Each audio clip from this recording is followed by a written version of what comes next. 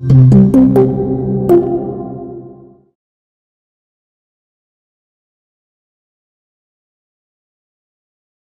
ces systèmes-là.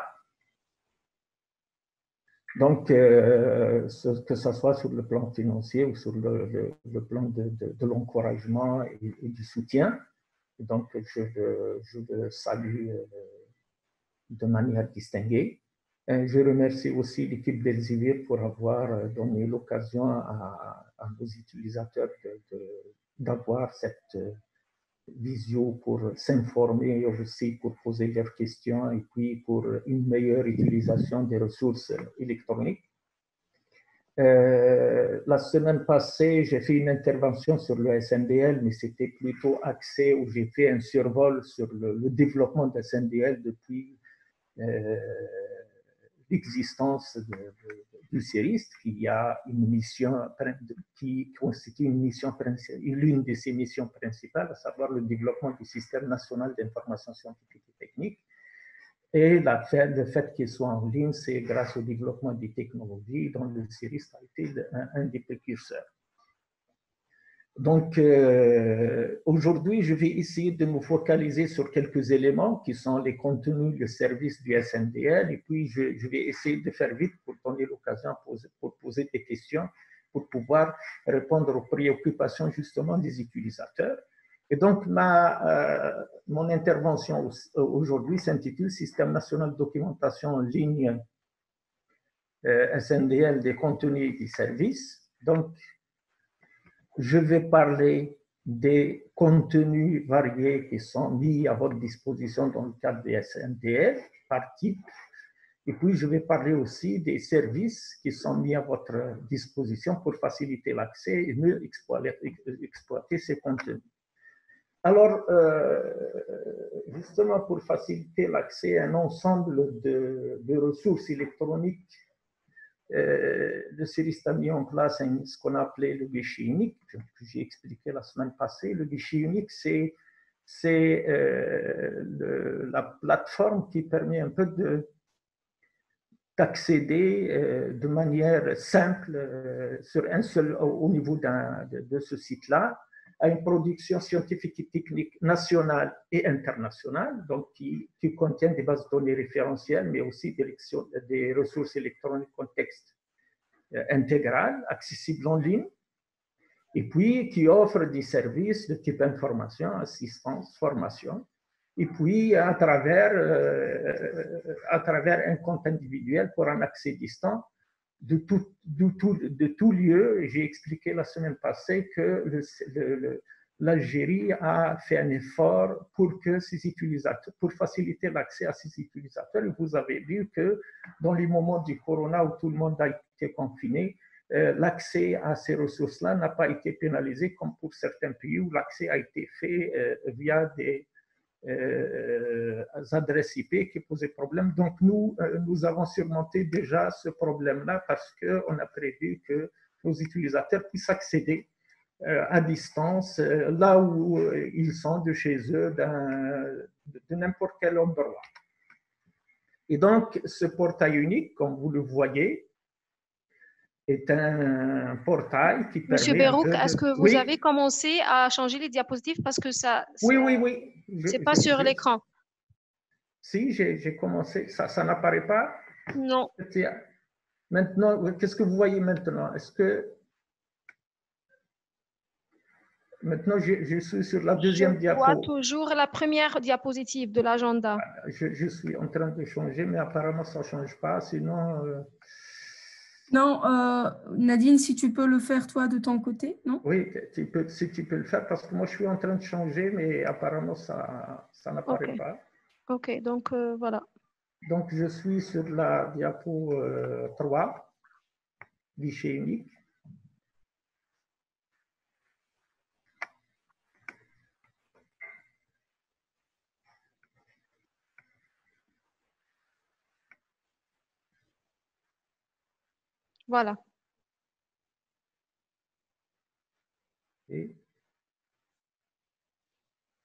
Voilà. Merci. Euh, donc, comme j'ai dit, le guichet unique, vous allez vous, avancez, s'il vous plaît. Diapo suivante. Voilà, c'est ce euh, portail-là qui est, euh, que appelait guichet unique. Et donc, euh, à travers une entrée unique, à travers un, compte accessible à distance, vous pouvez accéder à toutes les ressources, les contenus qui, sont, qui existent dans, le SNDL, que ce soit des, des ressources électroniques internationales, qui sont, je vais, voir, je vais donner un peu, de, un peu plus de détails, euh, comme aussi euh, l'accès à euh, la production scientifique nationale et puis l'ensemble de services qui sont mis à votre disposition à travers lesquels je vais, que je vais développer dans un moment. Vous passez à la diapo suivante, s'il vous plaît.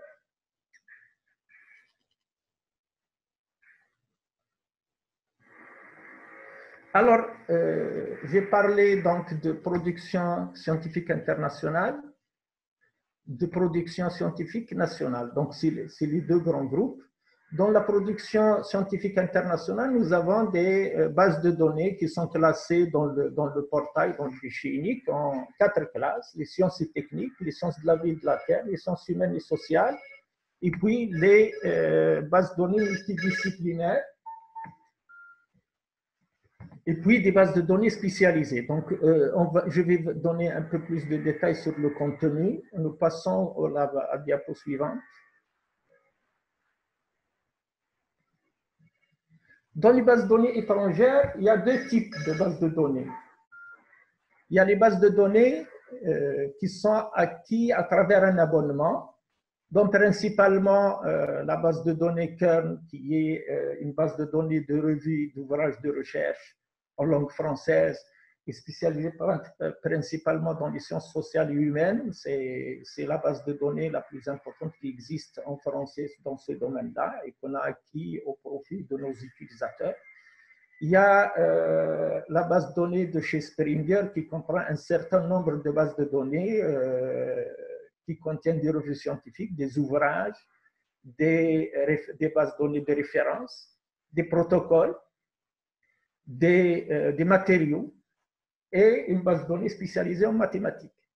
Et puis, euh, une grande base de données que vous connaissez très bien que de chez euh, l'éditeur Elsevier.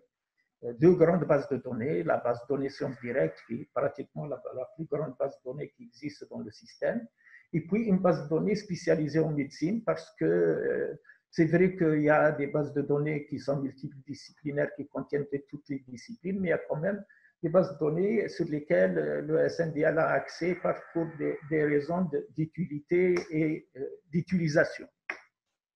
Et puis des bases de données spécialisées qui sont I2E et 3E, et puis la base de données ACM.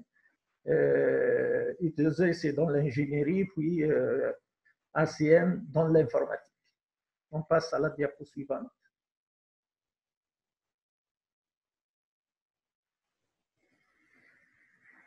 Dans la production scientifique internationale, nous avons aussi des bases de données qui sont en accès ouvert, c'est des archives ouvertes, et qui sont euh, mises dans le SNDL pour faciliter leur accès, euh, parce qu'elles ne sont pas peut-être connues par les utilisateurs. Donc, dans l'optique de faciliter l'accès à ces bases de données-là qui sont en accès gratuit, euh, ces bases de données-là, elles se trouvent sous forme de site portail ou de bases de données carrément comme les autres bases de données nous faisons une veille sur le, sur, sur, sur le net et puis chaque fois qu'on trouve une base de données importante ou un site portail important qui permet d'accéder à des ressources électroniques dans les différents domaines, on l'ajoute on à, à, à, cette, à cette rubrique-là qui constitue une production internationale importante dans le domaine des sciences et techniques, euh, dans tout, en, fait, sciences et techniques, euh, sciences de la vie de la terre, dans tous les domaines qu'on a cités plus haut. On passe à la diapo suivante. Donc là, euh, il y a le volet production scientifique nationale. on a beaucoup travaillé sur la question de la, des ressources nationale.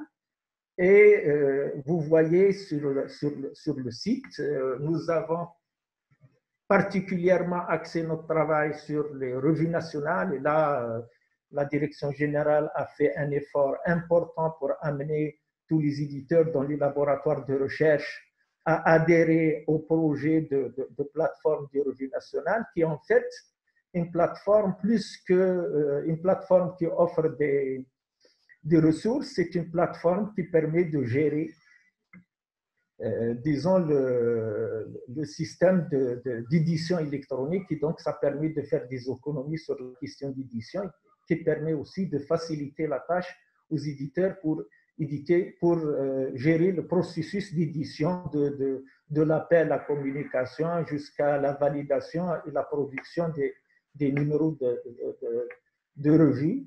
Et donc là, c'est tout un système qui permet de, de, la gestion du, processus d'édition des revues électroniques jusqu'à la mise à disposition, donc à la valorisation de cette production-là qui comprend, qui comprend aujourd'hui plus de 500 euh, revues nationales qui sont éditées dans la plateforme et qui continuent à évoluer et qui actuellement en accès libre. Il y a aussi un deuxième fonds qui est très important sur lequel on a, sur lequel on a beaucoup travaillé aussi. C'est un, euh, tout un système qui est mis en place en fait.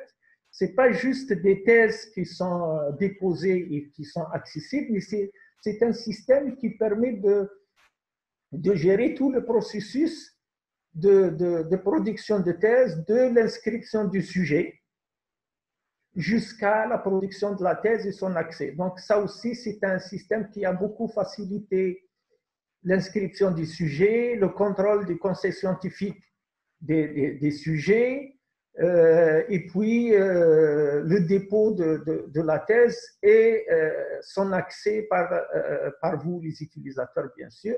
Ça a permis aussi de réduire un peu, pas totalement, mais en grande partie, la question du plagiat parce qu'on s'est rendu compte quand on a lancé le projet qu'il y avait beaucoup de gens qui, euh, utilisaient des, thèses qui sont déjà faites et qui, reproduisaient en partie et, des fois en totalité.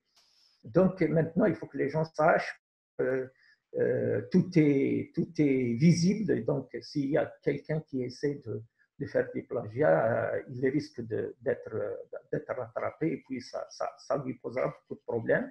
Donc, nous avons travaillé sur cette question, nous avons mis un portail qui a permis de, donc, de gérer tout le processus de, de l'inscription jusqu'à l'accès à la thèse en texte intégral.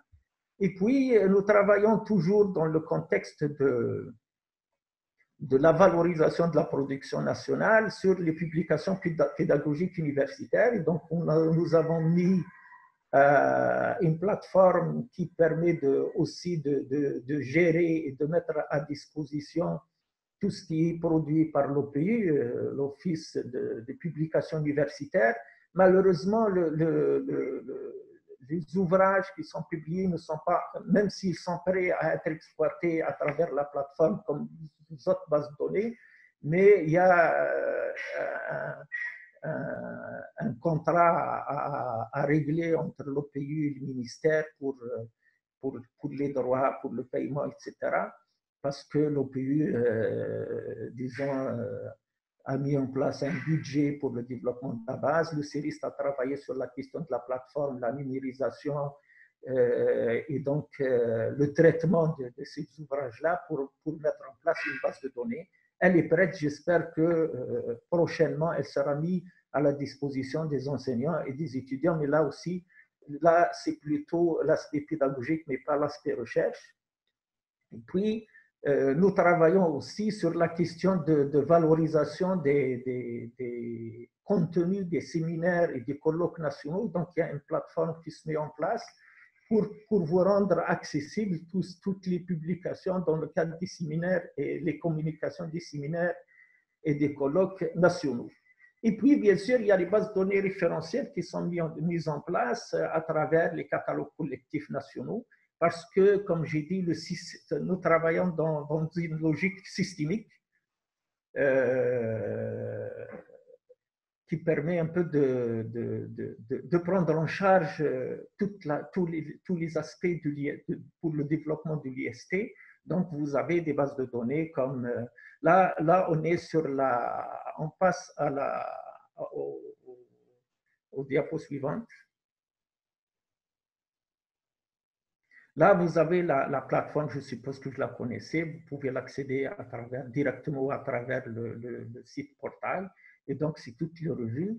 Euh, ça, ça, ça, sert les, laboratoires pour éditer des revues euh, euh, en évitant le coût du papier, de l'édition papier, toutes les procédures compliquées.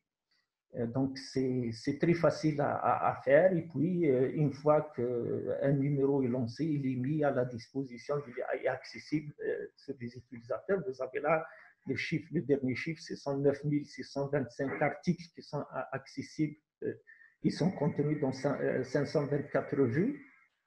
Il y a d'abord ce qui, ce est actuel et puis les laboratoires sont en train de numériser les, les, anciens numéros qui, qui, qui, ne sont pas entrés déjà dans, dans le portail.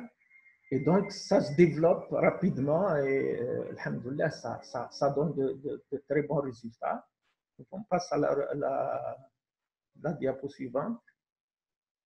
Là, c'est le portail des thèses, comme je l'ai signalé. Donc, vous avez le doctorant, quand il s'inscrit, il va, on lui donne un compte. C'est l'université qui lui donne un compte, ce n'est pas le CIRIS. Donc, on a décentralisé la, mise à disposition du compte. Donc, il va au service post-graduation, il a un compte, il introduit son sujet. Et puis, le conseil scientifique a aussi un compte pour vérifier, valider le, le, sujet, pour faire des remarques en ligne aussi au thésard. Et puis, une fois la thèse soutenue, elle est déposée par la bibliothèque qui a un compte aussi qui dépose en ligne la thèse et puis tout est accessible en, ligne. Donc les services et aussi la ressource sont accessibles en ligne.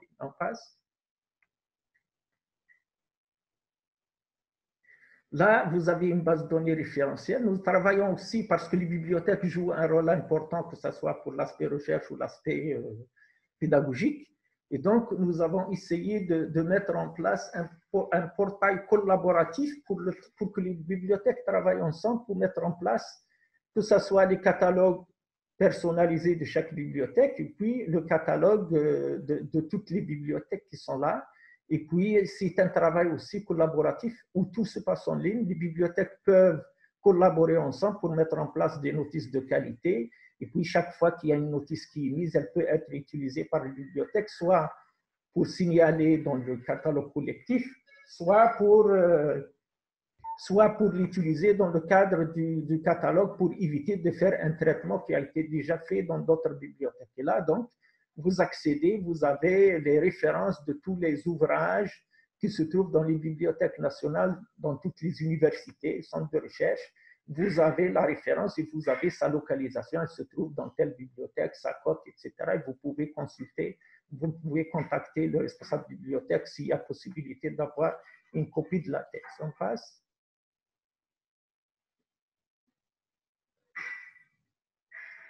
Alors, pour les services, maintenant, ça c'est pour les contenus, j'étais un peu euh, général, donc j'attends les questions si vous avez des questions. Pour les services, alors, nous, euh, nous offrons un, ensemble de services qui sont l'information et la communication. On communique beaucoup avec les utilisateurs, avec les éditeurs, avec les bibliothèques. On donne l'information sur les nouveautés, sur les formations, etc.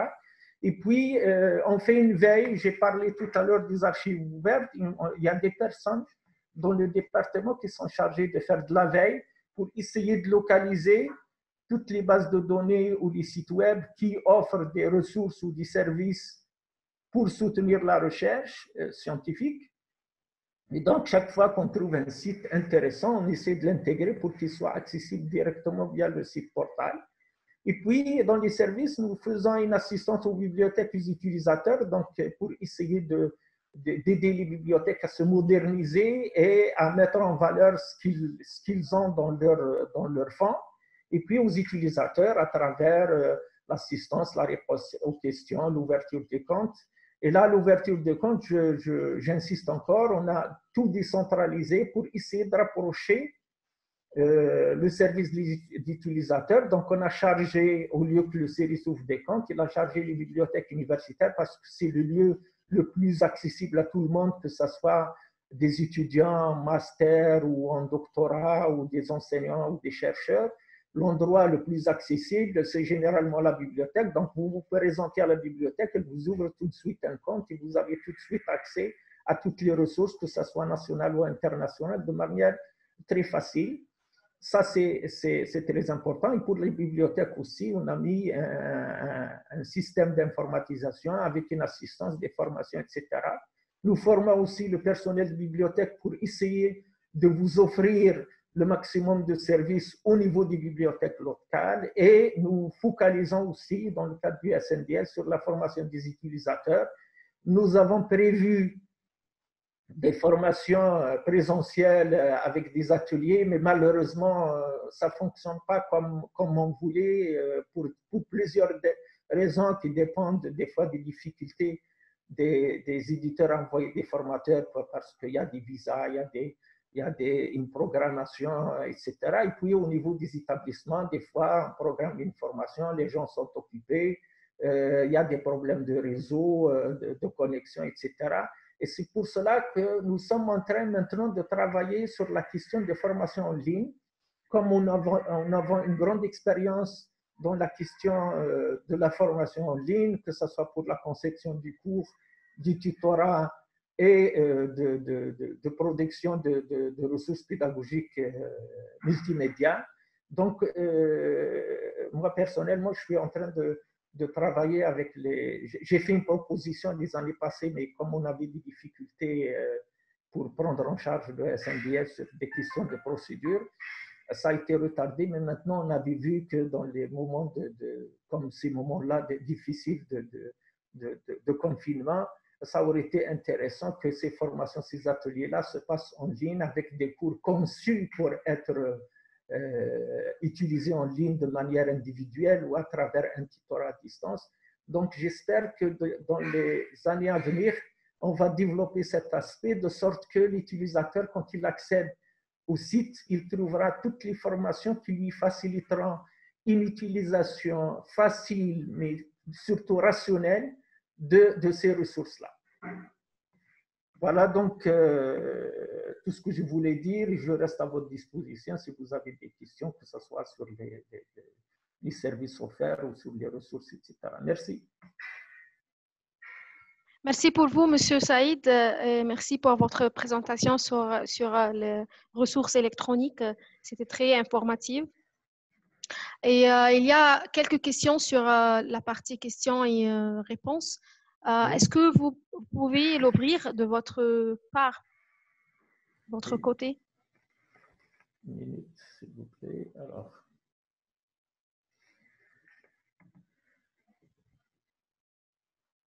Alors, euh, la première question, c'est sur les thèses. Euh, il est dit que presque toutes les thèses, non, je dis presque toutes les thèses, toutes les thèses, vous avez pratiquement 70 000 thèses qui sont accessibles, qu'on peut télécharger. Il y a quelques thèses qui ne sont pas déposées par les, bibliothèques parce qu'il faut savoir que, comme j'ai dit, c'est un travail collaboratif. Ce n'est pas le, le qui met les, thèses. À un certain moment, euh, nous avons essayé de récupérer des copies, mais c'était faramineux parce qu'au départ, on a, on a récupéré 8000 thèses qu'on a scannées avant qu'on ait les, les, les, thèses électroniques. Mais après, on s'est partagé les tâches et c'est les bibliothèques qui déposent les thèses. Nous, nous, sommes avec le ministère à cheval pour que toutes les thèses soient mises, mises sur, le, sur, le, sur, le, sur le site. Mais si vous trouvez qu'il y a juste la référence, c'est malheureusement parce que la bibliothèque n'a pas déposé les thèses. Euh, mais sinon, si la thèse est déposée, elle est euh, accessible euh, via le site. Il n'y a aucun problème pour ça. alors, ma question.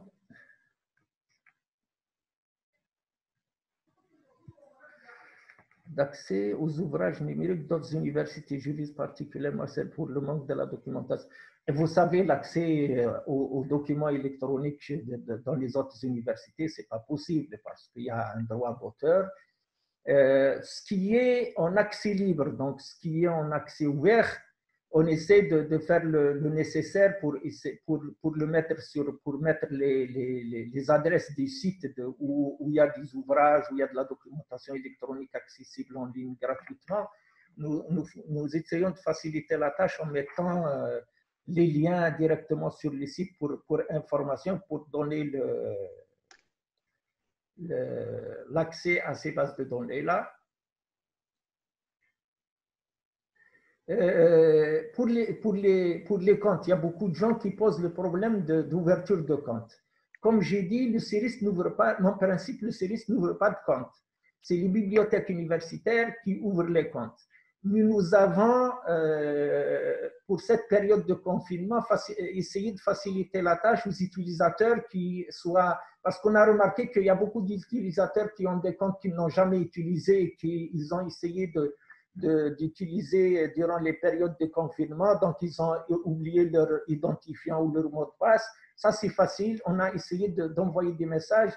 Il suffit d'écrire de, à partir de la, de la, de la page euh, d'accueil du, du, SNDL, euh, euh, d'écrire au CSNDL pour avoir réactivé son compte ou alors les gens qui n'ont pas de compte, euh, nous avons besoin d'une justification parce qu'on ne peut pas, euh, euh, ouvrir un compte à qui le demande. Il faut qu'il y ait une justification. La justification, c'est la carte professionnelle ou le certificat de d'inscription en master ou en doctorat, etc et donc, ou une attestation du travail pour l'enseignement pour, reconnaître que c'est un utilisateur du secteur, parce qu'on ne peut pas ouvrir comme ça.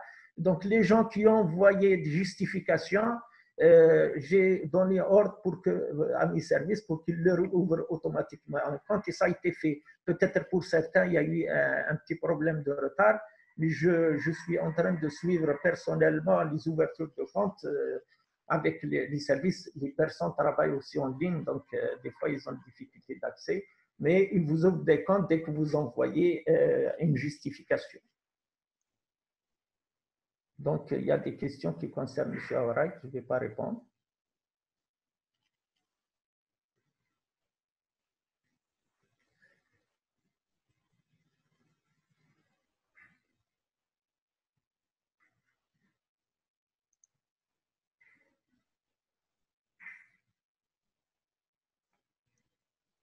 Personne qui pose euh, une question sur la question euh, système de veille, c'est des personnes qui sont spécialisées dans la veille et qui travaillent sur les, sur euh, ils font des recherches sur, sur Internet et qui localisent et puis qui mettent en place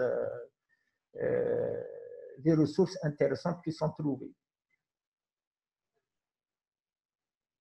Je suis médecin, je voudrais savoir, euh, vous êtes médecin, il faut, faut essayer d'avoir un compte pour pouvoir euh, euh, accéder. C'est juste, vous envoyez un message avec une copie qui justifie que vous êtes de l'enseignement supérieur, on vous ouvrira un compte et vous, on vous guidera pour l'accès aux ressources.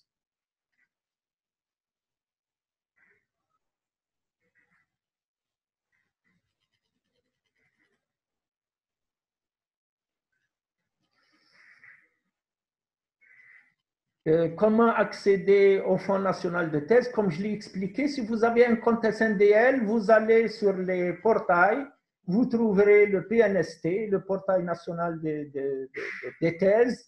Euh, vous accédez, vous avez un accès euh, direct aux thèses. Donc, si vous avez un compte SNDL, vous pouvez accéder avec ce compte-là.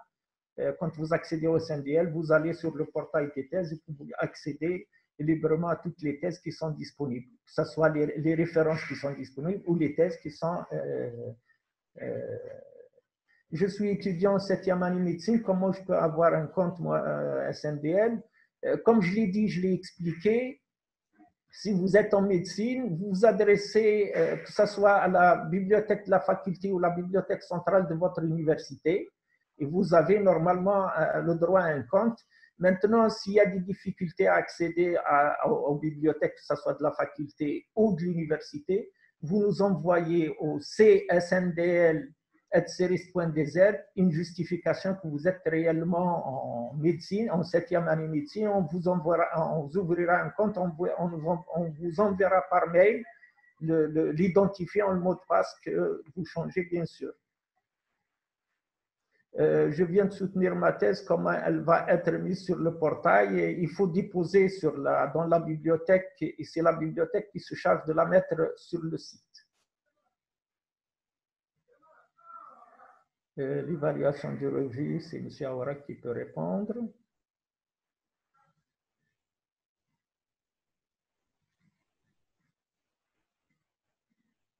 Alors, pour les questions de thèse, pour les questions de, thèmes, euh, effectivement, il y a des thèmes qui sont, il y a des domaines et des thèmes qui n'ont pas été euh, mis dans, le classement du PNST, donc dans, dans, le signalement des thèses. Et ça, on a travaillé, euh, ça fait quelques, temps qu'on travaille avec le ministère de l'Enseignement supérieur Malheureusement, le travail est manuel au niveau du ministère. Quand il y a un nouveau thème, quand il y a un nouveau domaine, quand il y a une nouvelle spécialité, les mises à jour, comme tout se, fait euh, en papier, euh, nous, avons développé une petite application qui permet un peu de, de, mettre à, la disposition du ministère le classement euh, des, domaines, des thèmes, des spécialités, des universités, etc. Et puis, il y a des, spécialités dont l'intitulé ont changé. Donc, nous sommes en train de travailler sur un fichier d'autorité qui permet un peu de recenser les anciennes les anciens domaines, les anciennes thématiques qui ont été, ou les spécialités qui ont changé, et puis pour essayer de faciliter la recherche et pour essayer d'intégrer les, les nouvelles spécialités, les nouvelles thématiques qui sont définies. C'est un travail qui a été fait, qui devrait être lancé en euh, ces mois-ci, mais avec le confinement, il y, a, un petit problème. Mais tous ces problèmes-là vont être réglés, euh, Inch'Allah, incessamment. Alors, alors, certaines revues. Euh,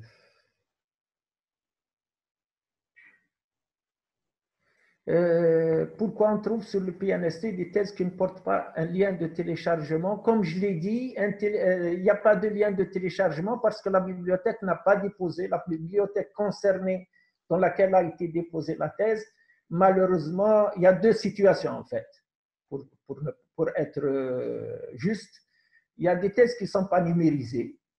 Et donc, ça a été signalé, comme la bibliothèque n'a pas les moyens de numériser, donc elle ne peut pas le mettre sur le portail.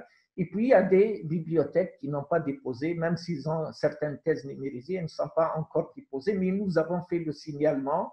Le signalement existe. Bon, on essaie, comme j'ai dit, de travailler avec le ministère pour pousser les bibliothèques à déposer toutes les thèses qui sont disponibles, notamment ceux qui sont euh, euh,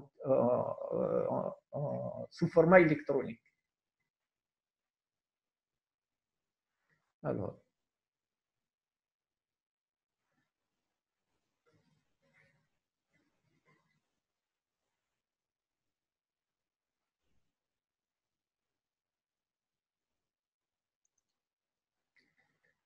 euh, il y a des, bon, il y a des sujets. Euh, la question sur l'accès au Fonds national de thèse, j'ai dit, vous allez sur le SNDL, vous avez un compte, vous accédez, vous allez sur la rubrique portail, vous trouvez le PNST, vous cliquez, vous faites une recherche, vous pouvez télécharger la thèse.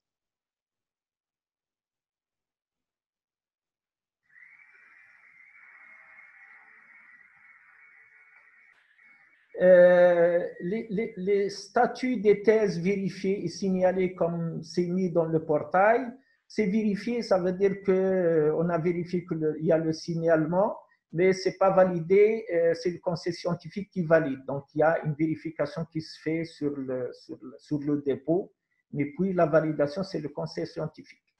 Ça veut dire que c'est vérifié par le, parce que au niveau des universités, il y a quelqu'un qui saisit et qui fait une recherche sur le, sur le portail, qui vérifie que la thèse n'a pas été, euh, pas, le thème n'a pas été traité, puis c'est le conseil scientifique qui valide ça. Donc c'est pour cela que vous trouvez ces, deux situations-là. Mais euh, on a décidé de le changer pour essayer d'éviter les complications. Validé, non validé, il y aura ces, ces états-là des thèses.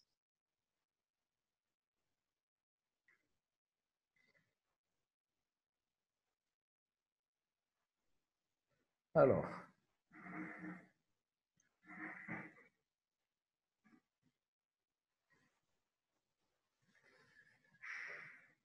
Pour les mémoires de, master, bon, c'est une ressource euh, documentaire importante, mais euh, on a préféré que ça, soit, que ça soit signalé au niveau des bibliothèques, donc des bibliothèques locales. Euh, sur cette question, justement, pour la valorisation de cette production-là, nous sommes en train de travailler avec les bibliothèques pour l'informatisation donc, euh, et pour le développement de sites web. Donc, si vous allez au niveau des bibliothèques, euh, celles qui, sont, qui utilisent notre logiciel et qui sont informatisées, vous pouvez accéder à la, à la, à la, euh, la copie du, du master. Vous pouvez avoir une copie électronique du master mais euh, là aussi, on est en train d'essayer de, pousser les, bibliothèques à mettre en place des sites web qui permettent d'accéder à ces masters-là en ligne. Bon, mais il y, a des, bibliothèques qui ont commencé à le faire, il y a d'autres qui sont euh, n'ont l'ont pas fait par manque de moyens, euh, etc. Mais nous travaillons sur cette question j'ai parlé tout à l'heure d'assistance de bibliothèque, il y a un travail, grand travail qui se fait sur cette question, euh, ça, nécessite beaucoup de temps et beaucoup de persévérance. Pas, les choses ne sont pas faciles. Vous avez un manque de personnel, vous avez un personnel qualifié, vous avez un manque de moyens, vous avez un manque de volonté. Il y a des choses qui contribuent à ce retard-là. Nous essayons de le rattraper, Inch'Allah, avec les efforts de tout le monde. Pour les questions des de plagiat pour les, pour les masters, les mémoires de master, oui, c'est vrai, il y a beaucoup de plagiat, mais pour le moment, euh, en attendant que les bibliothèques se mettent, euh, il y a un, projet euh, de, développement d'un logiciel de plagiat qui, est presque finalisé. Mais je pense, moi, par l'expérience qu'on a fait sur le Fonds national de thèse, le, meilleur moyen de combattre le, plagiat, c'est de rendre visibles ces mémoires-là. Parce que quand ils sont visibles, les gens ne peuvent pas euh, se permettre de les plagier. Mais euh, si elles ne sont pas visibles, bien sûr que les gens peuvent se permettre de les plagier. pour les mémoires de magistère, ils sont aussi déposés au niveau du, fonds, des, des thèses. Si, certains magistères ne sont pas déposés, c'est que les bibliothèques ne l'ont pas fait malheureusement.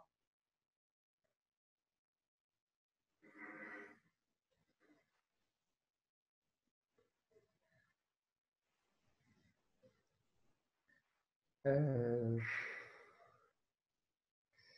pour les ouvrages, comme j'ai dit, euh, les ouvrages euh, pédagogiques, notamment produits au niveau national, nous savons que nous avons beaucoup de compétences qui peuvent produire des ouvrages très intéressants. il y a un travail qui se fait, il y a une plateforme qui est mise en place. Maintenant, il reste à finaliser la procédure pour les rendre accessibles aux utilisateurs. Donc, ça peut se faire. Euh, bon, euh, faut-il payer ou faut, faut-il pas payer? Ça, c'est une question qui est en débat au niveau de la Commission nationale euh, du SNDL. J'espère qu'on arrivera à trouver une solution, soit en payant les, les, et, en conséquence les auteurs, et puis soit en faisant payer les, utilisateurs. Ça, c'est une procédure qui doit être mise en place par le ministère de l'Enseignement supérieur et de la Recherche scientifique.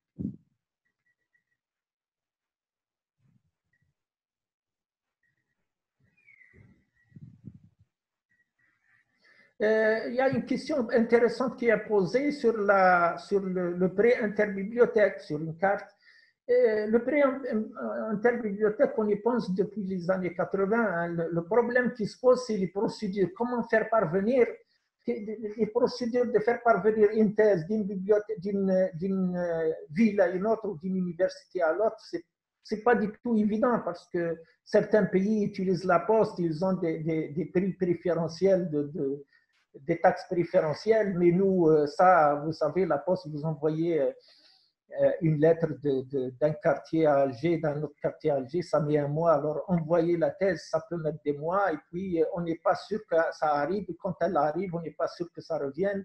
Et ça, c'est une question qui, s'est posée depuis euh, une trentaine d'années et à laquelle on n'arrive pas à trouver de solution. Le, problème, c'est qu'on peut mettre en place un système de prix. Le système de prix existe.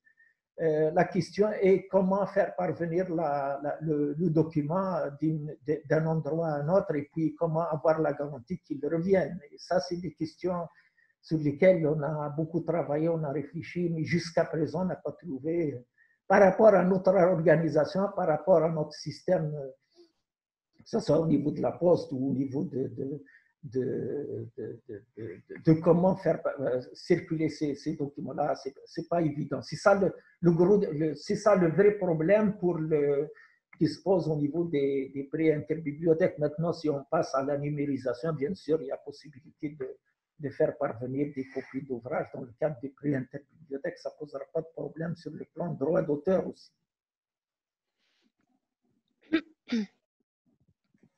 Je ne sais pas s'il y a encore du temps ou si je dois m'arrêter là. merci beaucoup, Monsieur Berouk. Euh, je pense que voilà, on a, on a eu beaucoup de questions et euh, Peut-être euh, on aura beaucoup euh, d'autres webinaires pour euh, couvrir le reste des, questions. Je, je, vois que la plupart des questions sont autour de comment accéder. Donc, je pense que on peut, voilà, Monsieur Berouk, arranger ensemble. Je peux vous aider à avoir une vidéo démonstrative pour partager avec tout le monde pour avoir de l'information sur comment accéder, comment créer une requête pour avoir l'identifiant et le mot de passe.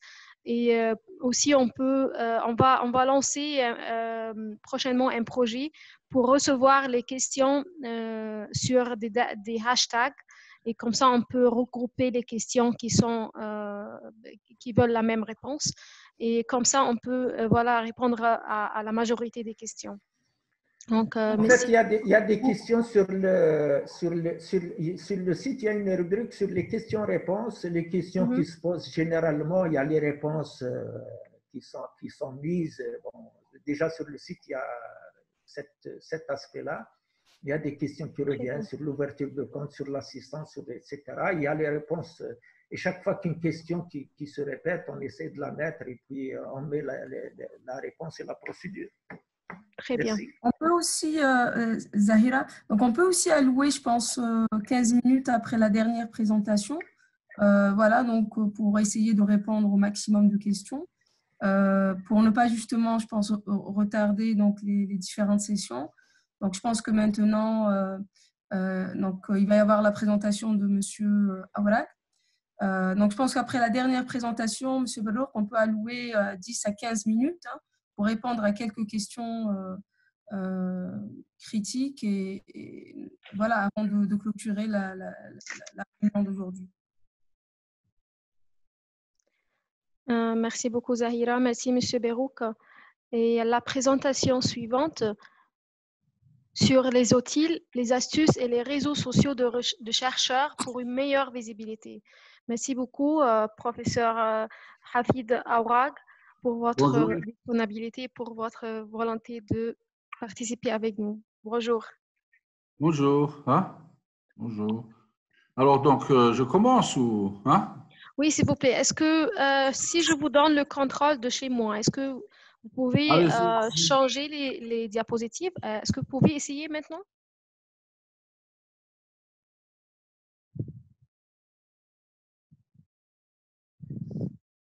Ah, voilà. Comme ça, vous avez le contrôle. Donc, euh, vous pouvez justement euh, commencer par euh, le, la diapositive numéro 15.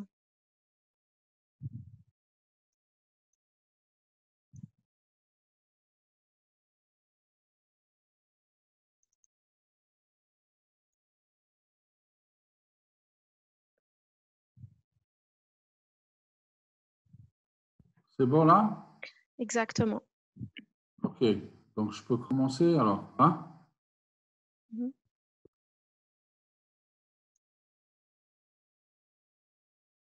Allô?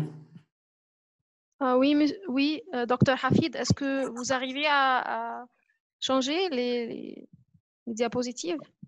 Ah, Exactement. ça- Là, Mhm.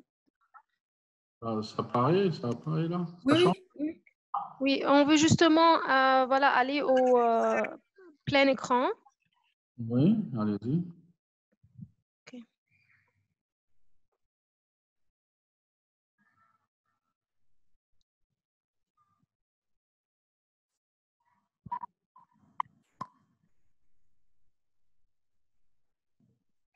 Ça marche? Ça marche hein? Si ça ne marche pas, vous les placez. Hein, Hein? D'accord Très bien. On peut commencer, je pense. Ah bah, ok, on peut commencer alors. Donc, euh, je voudrais, ben, Bismillah ar-Rahman ar-Rahim, wa salatu salam mursalin. Donc, aujourd'hui, je voudrais partager avec euh, ceux qui sont dans ce webinaire à propos de quelques outils, quelques astuces et aussi sur les réseaux sociaux de chercheurs. Euh, Parce que, en fait, un chercheur, ce qui l'intéresse le plus, c'est sa visibilité sur la toile sa visibilité sur la toile, c'est-à-dire comment il peut être d'une notoriété scientifique et comment que tout ce qu'il fait, il peut le, le rendre visible et aussi comment il peut augmenter ses chances de succès en matière de publication universitaire, comment il peut améliorer la qualité de sa recherche, comment il peut améliorer la qualité de sa connaissance et de son savoir. Et donc, c'est à partir de là que je voudrais donc aborder avec euh, l'ensemble de, ceux qui nous écoutent aujourd'hui ces différents aspects. Alors, le premier aspect que je voudrais, sur lequel je voudrais insister en premier lieu, c'est d'abord euh, comment peut-on euh, aujourd'hui euh, mesurer, mesurer la mesure d'un travail scientifique? Comment on peut mesurer la qualité d'un travail scientifique? Comment on peut mesurer donc euh, une publication de façon générale, puisque tout travail scientifique est mesuré par, surtout un travail académique, est mesuré par euh, la qualité de la publication. Donc la qualité de la publication, nous avons plusieurs paramètres que nous appelons des paramètres scientométriques ou des outils bibliométriques. Donc les outils bibliométriques, essentiellement, vous avez euh, à chaque niveau. Donc quand vous avez, vous avez d'abord l'article. L'article, quand vous écrivez un article, vous l'écrivez et vous le publiez dans une revue. Donc, ça veut dire qu'il y a d'abord la mesure de l'article et la mesure de la revue. La mesure de l'article, c'est-à-dire que votre article, quel impact il a sur votre article sur la communauté des chercheurs. Est-ce que votre article est de bonne qualité ou est-ce qu'il n'est pas de bonne qualité? Et ça, c'est par rapport au nombre de citations. Combien votre article a été référencié dans d'autres articles écrits par d'autres chercheurs. Et donc, on mesure ceci par son impact. Ensuite, cet article qui est mis dans une revue, donc aussi, on mesure aussi la revue par rapport à sa qualité. Si une revue, elle est mentionnée plusieurs fois, ces articles qui sont écrits dans cette revue sont cités plusieurs fois, ça va augmenter son impact. Et donc, il y a l'impact de la revue. Et puis, vous avez celui qui a écrit l'article. Celui qui a écrit l'article, c'est-à-dire le chercheur lui-même. Comment je peux mesurer la valeur de ce, chercheur? Et puis, ce chercheur fait partie d'un laboratoire de recherche. Donc, je dois aussi mesurer le laboratoire de recherche. Il fait partie d'une université. Je dois mesurer cette université pour donner le classement de ces universités. Et puis, vous avez la mesure dans un pays, c'est-à-dire quelle est la position de ce pays par rapport aux autres pays. Donc, on mesure aussi la qualité de la production d'un pays. Donc, vous voyez que les classements se font à différentes échelles. Et puis là, nous avons deux, deux approches pour mesurer, deux modèles, je peux dire, pour faire la mesure. Vous avez droit à des modèles basés sur ce qu'on appelle la mesure de la citation, c'est-à-dire combien de fois le chercheur, l'article, la revue est cité. Et donc là, nous avons deux grandeurs qui sont mesurées généralement. L'une pour les revues, c'est l'impact facteur, et l'autre pour la qualité du chercheur, c'est l'indice H. Je reviendrai sur ce problème. Et puis, vous, avez aussi des modèles qui sont basés sur la mesure de l'usage, c'est-à-dire l'usage de cette information, l'usage de cette information. Et là, vous avez des, des, logiciels que vous pouvez télécharger pour faire ceci, tel que Counter ou Mesure. Et donc là, maintenant, euh, comment vous pouvez mesurer d'abord vos qualités en tant que chercheur En tant que chercheur, pour mesurer votre qualité, vous avez ce que nous appelons, nous, c'est-à-dire des, des, euh, plateformes, telles que, par exemple, la plateforme de Scopus, la plateforme Scopus donc de LCV qui vous permet de faire ceci. Et bien, vous avez aussi d'autres plateformes euh, qui sont gratuites sur lesquelles vous pouvez vous mesurer dès le départ. C'est la plateforme euh, qui est développée par euh, MIT et qui s'appelle Publish or Perish. Donc, la, la plateforme Publish or Perish, vous pouvez télécharger cette plateforme de, chez vous par, par Google. Et donc, vous l'installez et vous pouvez avoir votre mesure, c'est-à-dire comment vous, euh, comment vous pouvez vous mesurer. Donc, vous introduisez, j'ai mis ici, donc ça passe pas la, la, diapo, si vous pouvez la passer de votre, si vous pouvez passer la prochaine diapo. Donc, euh, vous avez, voilà, donc vous êtes sur, euh, sur, le, sur la plateforme Publish and Perish vous introduisez votre nom, où il y a autre name, d'accord Et là, euh, c'est un moteur de recherche qui va vous rechercher tout ce que vous avez produit dans votre vie. Tout ce qui a vous produit et qui a une valeur. Il y a une valeur. Parce que quand vous, vous allez utiliser Google Scholar pour faire une recherche par rapport à ce que vous avez produit, Google Scholar ne mesure pas la valeur. Parce que comme j'ai dit, la valeur se mesure par des index par des indices. Donc l'indice H ou l'indice G, ou par exemple ici, vous avez plusieurs indices dans, dans le Publish and Publish. Et donc vous pouvez voir tout ce que vous avez publié, le nombre de citations, sur quelle période, dans quelle revue. Et à la fin, on vous donne, on vous donne une valeur qui est l'indice H. Alors donc je reviens à, à cet indice H. Indice H, c'est comme un classement ATP pour les tennisman, c'est-à-dire il vous donne une position quelle est votre position dans, le, dans, le, dans, le, dans, le, dans la communauté universitaire ou dans votre discipline. Alors, l'indice H, donc la prochaine, prochaine diapositive, s'il vous plaît, dans, ce, dans, ce, dans celle-ci, c'est-à-dire un chercheur, dans sa carrière, il doit impérativement, comme j'ai dit, cultiver son facteur H ou son indice H. Alors, l'indice H, il a été établi par un physicien qui s'appelle Hirsch, d'accord, et qui permet de voir comment on peut allier la quantité du nombre de publications que vous avez fait avec la qualité de vos publications. Donc, comment trouver un rapport qui peut en fait donner cette proportionnalité entre la quantité et la qualité? Et donc, euh, il a introduit donc cette notion d'indice H. Donc, l'indice H il combine deux, deux, grandeurs qui sont le nombre de publications et le nombre de citations. C'est-à-dire, vous avez publié tant d'articles, combien chaque article, pas l'ensemble des articles, mais combien chaque article a été cité de, nombre de fois. Et donc, c'est ce rapport. Si vous avez 30 articles et que ces 30 articles n'ont jamais été cités, votre indice H est égal à zéro. Si vous avez quatre articles qui ont été cités quatre fois ou plus, vous avez un indice H qui est égal à 4, et ainsi de suite. Si vous avez 10 articles qui ont été cités 10 fois, vous avez un indice H égal à, à, à, à 10. Donc cet indice H, il faut le cultiver. Il faut qu'il augmente durant votre carrière scientifique. Et donc, ça veut dire qu'il ne faut pas publier n'importe quoi, parce que si vous publiez n'importe quoi et qui n'ont jamais été cités, eh ben, vous n'allez pas progresser et vous n'allez pas augmenter votre indice H. Donc, il faut savoir bien publier. Il faut publier peu et bien pour que vous puissiez avoir un indice H élevé. Et cet indice H, on l'utilise aux États-Unis pour un peu classifier une personne. Vous pouvez vous dire, si j'ai un indice H de temps, qu'est-ce que ça va me permettre de faire? Et, pour, pour Hirsch, une valeur, par exemple, comprise et 10 et 12, vous permet d'avoir un poste de chercheur dans une institution de chercheurs. Si votre indice, euh, vous pouvez devenir professeur si vous avez un indice H supérieur à 18. Si votre indice H est compris entre 15 et 20, vous pouvez être membre d'une académie Et si vous avez à avoir un indice H qui est supérieur à 45, vous pouvez aller vers une académie et ceci. Voilà, donc prochaine, prochaine diapositive.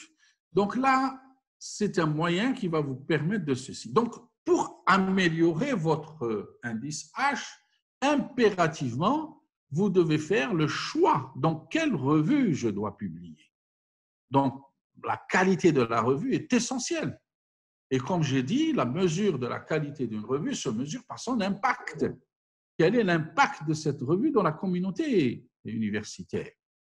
Et donc, ça veut dire que je dois faire une, une recherche dans, euh, ma, dans un ensemble de revues qui sont, dans un bouquet de revues qui sont proposées dans ma discipline, faire le bon choix. C'est-à-dire, le bon choix, c'est-à-dire aller chercher dans ce que nous appelons le Journal Citation Report, qui chaque année ou chaque deux ans, les éditeurs, d'accord, font en sorte de faire un rapport général qui classifie les revues. Comme je classe les, chercheurs par l'indice H, là, je classe les revues par rapport à leur euh, l'indice, leur facteur d'impact. Et donc, vous pouvez voir pour chaque revue quel est son impact facteur. Bon, vous, allez, vous pouvez avoir des indices facteurs qui vont jusqu'à 70, quand vous pouvez avoir des facteurs qui vont de 0,1, 0,2.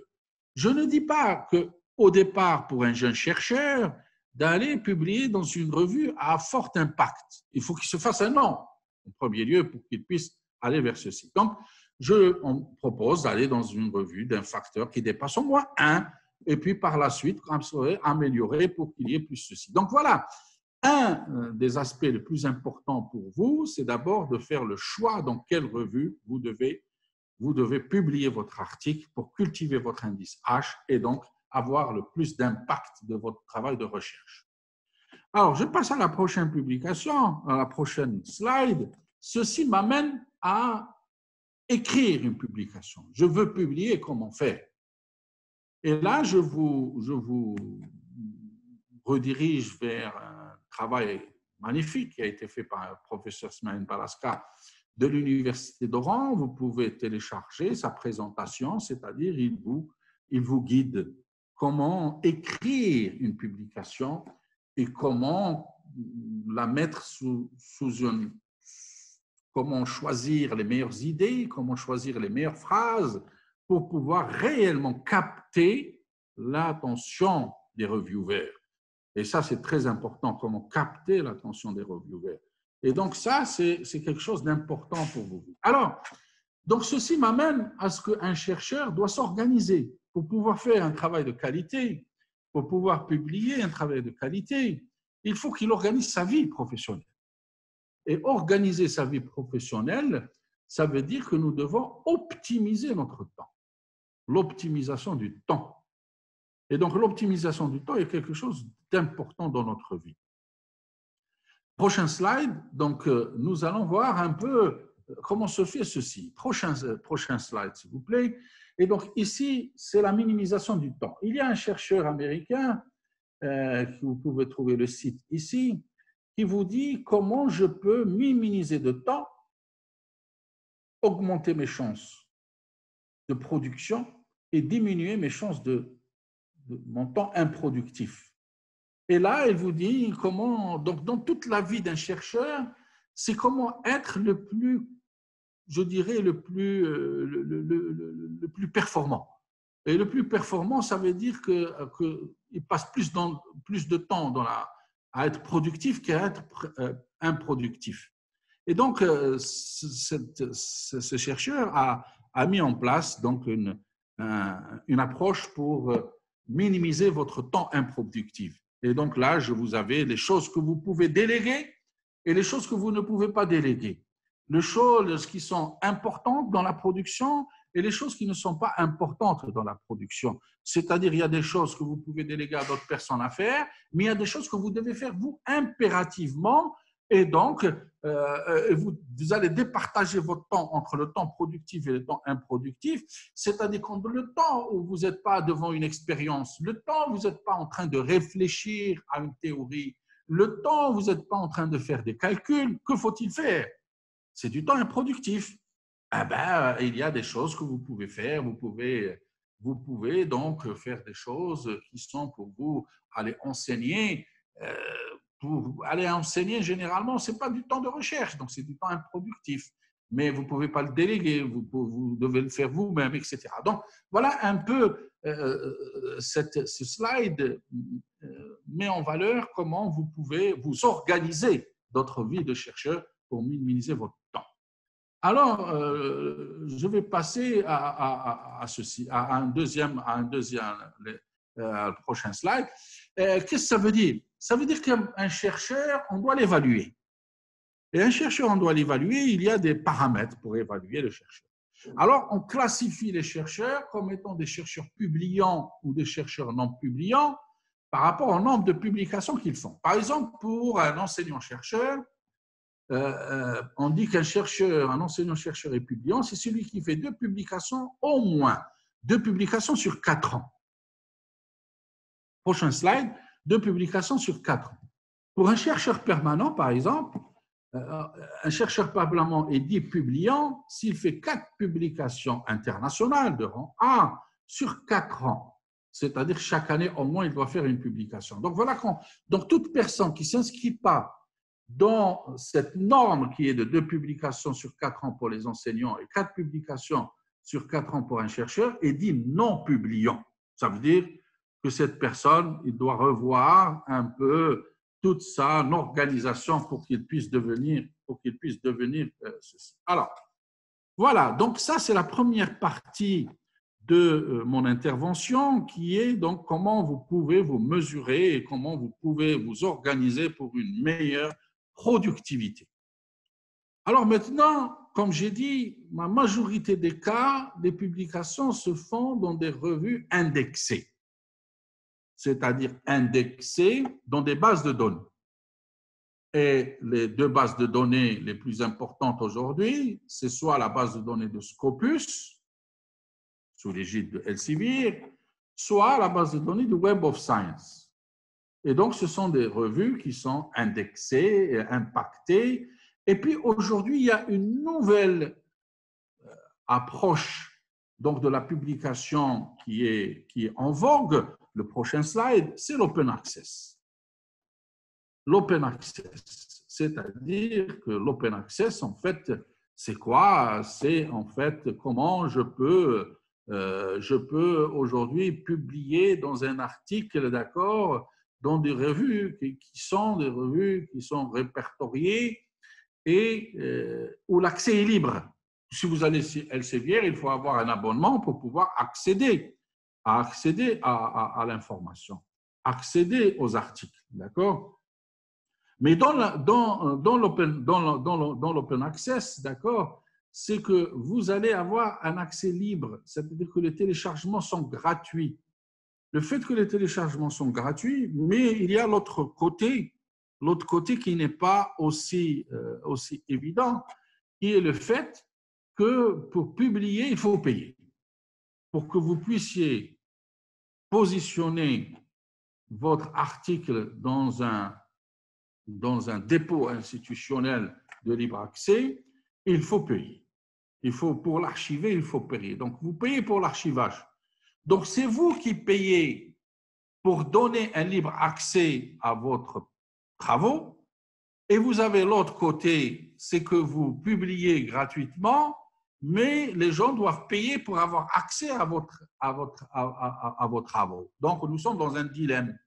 Soit on publie gratuitement, mais celui qui veut accéder à notre publication doit payer, soit on paye, c'est nous, et on met gratuitement notre, notre, nos travaux gratuitement à autrui. Et donc ça, c'est un, un débat. Euh, il y a ceux qui sont pour, ceux qui sont contre, et donc, mais là, il y a aussi un petit problème qui va surgir par la suite, c'est la classification de ces revues.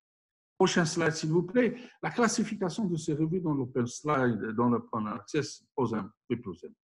Alors, et vous pouvez avoir, si vous voulez avoir d'autres informations sur l'open access, d'accord, il existe plusieurs sites vous renseignant quantitativement sur le mouvement open access. Je vous donne ici les, différentes, les, différents donc, sites où vous pouvez avoir plusieurs, plusieurs informations concernant ce Open Access. Ce n'est pas aussi évident pour pouvoir faire le choix de la revue dans l'Open Access. Donc,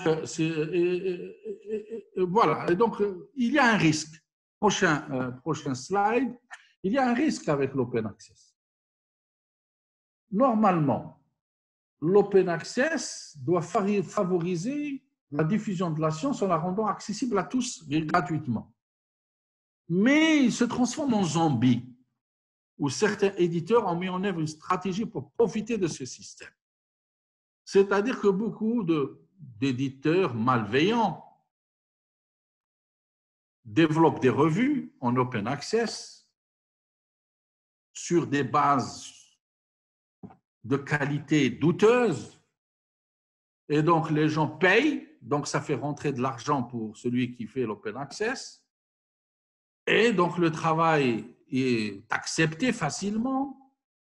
Et il est mis en ligne gratuitement. Et donc, il y a une prolifération. Et donc, l'open access devient un zombie. Donc, il faut faire le ménage dans l'open access.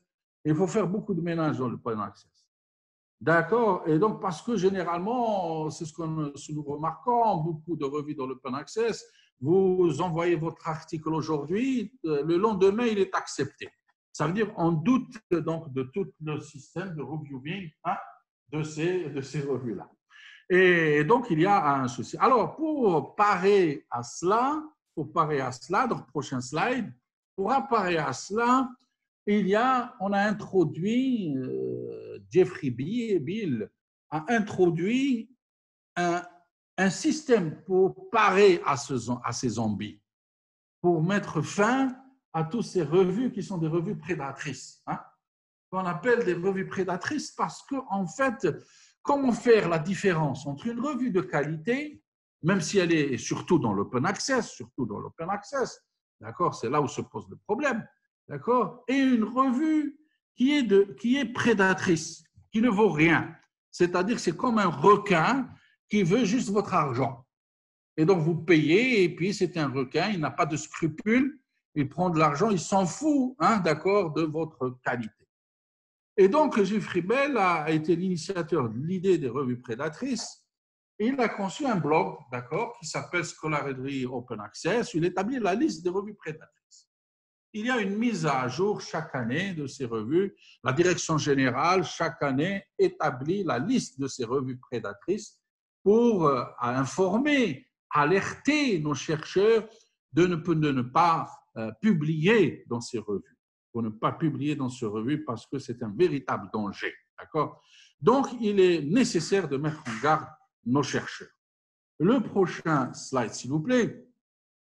Donc, euh, comment comment Jeffrey Bell, et quelles sont les techniques qu'utilise Jeffrey Bell pour définir une revue prédatrice? Il les regroupe quatre dimensions principales. Un, le respect des codes de conduite proposés par le groupement international d'éditeurs scientifiques. Est-ce que le même code de conduite qui est utilisé par les éditeurs que nous connaissons, les éditeurs euh, que nous, euh, que nous côtoyons chaque jour, d'accord, que ce soit Springer, que ce soit Elsevier, etc., est-ce que c'est le même code de conduite qui est utilisé? La deuxième, la compétence du comité éditorial et du comité scientifique. Est-ce que ce comité éditorial et ce, cet éditeur en chef, est-ce qu'ils ont une autorité internationale? Est-ce qu'ils ont les compétences requises pour pouvoir gérer une revue? Ensuite, le troisième point, c'est la véracité des informations dans le site. Est-ce que les sites, donc ils développent des sites web, chaque revue, mais est-ce que les informations qui sont contenues dans ces sites web sont des contenus vrais? Est-ce que l'information est exacte ou c'est de la propagande? Et donc, est-ce qu'il y a, et donc Bell vérifie la capacité, donc il vérifie si réellement ils sont justes ou pas. Et puis, le dernier point, la nature et l'intégrité du processus d'évaluation par les pairs. Est-ce qu'il y a réellement une présence effective de reviewers qui réellement donc, euh, commentent euh, ces, ces articles-là? Est-ce qu'ils sont de qualité, ces reviewers, du choix de ces reviewers, du processus de reviewing, etc. Donc, sur ces quatre, à la base de ces quatre points, euh, Jeffrey Bell établit donc, ça, établit donc son, établit donc sa, sa façon de faire par rapport à, cela. Et donc, vous pouvez, euh, euh, prochain slide, donc vous pouvez aller donc, dans son, sa plateforme qu'il a développée, ce qu'il appelle Scholarly Open Access, d'accord? Vous pouvez avoir donc euh, plus d'informations sur comment il établit tous ces, comment il fait cette recherche, comment il utilise les mécanismes pour arriver, arriver à ce résultat. Alors, vous êtes chercheur, vous n'avez pas beaucoup d'informations sur ces revues d'Open Access. Et comment vous devez faire? Prochain slide, s'il vous plaît. Donc, comment savoir si vous avez affaire à une revue prédatrice ou non? Alors, commence par, euh, il y a des indices, des indices flagrants qui démontrent que la revue est prédatrice. Premièrement, vous allez recevoir des mails provenant des éditeurs sur la sur la qualité des recherches sont trop flatteurs ou insistants, c'est-à-dire ils vous disent que nous avons remarqué que vous faites du bon travail, que vous publiez des travaux excellents, et c'est-à-dire et qu'il est nécessaire que vous puissiez passer à un autre stade et de pouvoir publier dans nos revues et qui vous vont augmenter votre visibilité, votre qualité. Donc, c'est-à-dire euh, qu'on va, qu'on va jouer sur votre égocentrisme et sur votre narcissisme, c'est-à-dire qu'on va vous, euh, vous devenir quelqu'un, on va vous poser sur un piédestal très élevé. Ensuite, le nom de revue n'est pas en accord avec son contenu, c'est-à-dire que quand vous allez voir le titre de la revue et vous allez voir le contenu, il y a un peu de tout. Ça veut dire qu'elle n'est pas, pas une revue vraiment euh, thématique, une revue dirigée vers un certain nombre de problématiques. Et puis, euh, aucun rédacteur en chef n'est mentionné. Ensuite, le comité éditorial n'est pas originaire de la discipline en question. Vous allez trouver dans le comité un médecin alors que la revue elle est en physique. Vous allez trouver quelqu'un qui est dans la, physique nucléaire alors euh, que la revue traite des problèmes de mécanique rationnelle. il y a un véritable problème. Et puis, il y a une promesse de comité de relecture très rapide. C'est-à-dire qu'en premier lieu, on vous dit voilà, il y a quelques erreurs que vous devez corriger. Et puis, vous relancez votre article et soudainement, deux jours après, votre article est accepté. Une relecture dans des temps exceptionnels. Donc, vous voyez, c'est des attrape-niveaux. Et donc, il faut faire attention à cela. Et donc, comment vous pouvez avoir faire affaire à une revue prédatrice. D'accord? Et donc, euh, euh, Jeffrey Bell, plus, prochaine, prochaine étape, prochaine euh, donc, les techniques de Bell, pour regrouper en cas de, comme j'ai dit, ça c'est les critères. La prochaine, s'il vous plaît, la prochaine diapositive. Alors, les critères, vous savez, ils se basent, ils se basent sur deux documents publiés par le comité en publication. Vous savez qu'il y a un comité international d'éthique ce comité international d'éthique, d'accord, d'éthique des publications, il s'appelle le COP, d'accord? Il y a dans, ce comité, comité d'éthique, il y a deux, euh, documents euh, euh, qu'il, est important en tant que chercheur de les, consulter. Il y a un code de conduite pour les, jeunes, pour les, pour les publishers, c'est-à-dire les éditeurs des journaux. Il y a un code de conduite, c'est comme une charte, d'accord, d'éthique et de déontologie que chaque éditeur doit satisfaire. Et puis, il y a, il y a aussi un autre qui s'appelle Principle of Transparency and Best Practice in Scholarly Publish, c'est-à-dire les pratiques de transparence et les, les, les, les, les, pratiques, les meilleures pratiques pour faire, pour euh, publier. Donc, ce sont sur ces deux, ceci qu'ils se basent. Et donc, ces, ces revues prédatrices n'obéissent pas à ces deux codes généralement. D'accord? Donc, euh, vous pouvez voir, voilà le site de la COP. Euh, et puis, vous pouvez aller, vous pouvez, donc, il y a des sites, vous passez le deuxième. Ça, c'est le truc. Et puis, vous pouvez aller sur ce site-là pour avoir aussi plus d'informations sur cette, le site de cette université qui vous donne plus d'informations sur ces, aspects-là. D'accord? Alors, et puis, donc, vous avez les, donc les conséquences vous passez, vous passez s'il vous plaît, euh, la, la, Encore, encore, s'il vous plaît. La prochaine. La prochaine, s'il vous plaît. Euh, donc, ça, c'est aussi j'arrive à cela. Donc, la conséquence. La conséquence, c'est le plagiat. Puisque ces revues sont mal encadrées, d'accord, donc automatiquement, c'est-à-dire que le plagiat passe. Et donc, le plagiat passe, et donc on se rend compte que quand on publie dans ces revues, il s'avère que quelques temps après, on découvre que le travail est plagié, que euh, c'est un travail. Et donc, les revues prédatrices, c'est les revues qui sont à l'origine du plagiat. Parce que dans les revues euh, comité d'éthique, euh, des comités qui respectent donc la COP, le plagiat est détecté dès le départ. Avant, quand vous transmettez un article à une revue, avant que l'éditeur l'envoie à des reviewers, il le passe d'abord dans un, dans un, logiciel qui détecte les plagiats, c'est-à-dire est-ce que ce que vous avez écrit, vous avez le droit de copier jusqu'à 10% d'un contenu, mais en ajoutant la référence. Au-delà de ça, ce n'est pas autorisé que vous allez prendre une introduction d'un article et vous allez la mettre dans votre article. Donc, les éditeurs, dès le départ, font ce travail de, euh, de ceci, avant de l'envoyer à l'éditeur. Donc, vous avez déjà une première phase de détection de plagiat par rapport à ce que vous avez écrit. Ensuite, le reviewer, c'est une détection de plagiat dans les idées et le contenu. Donc, vous voyez, il y a, il y a deux, verrous le verrou donc, du plagiat par rapport à ce que vous avez écrit et un verrou de plagiat par rapport au contenu et la, contenu de ce que vous avez écrit. Et donc, c'est pour ça que il faut faire, il faut être euh, euh, euh, le prochain, s'il vous plaît, le prochain, le prochain jusqu'aux réseaux sociaux dédiés à la recherche. Encore, encore, encore, encore. Voilà. Donc, euh, je ne vais pas m'étendre sur ces aspects-là. Donc, je vous ai juste guidé par rapport à cela. Maintenant, comment vous pouvez améliorer votre qualité de la recherche?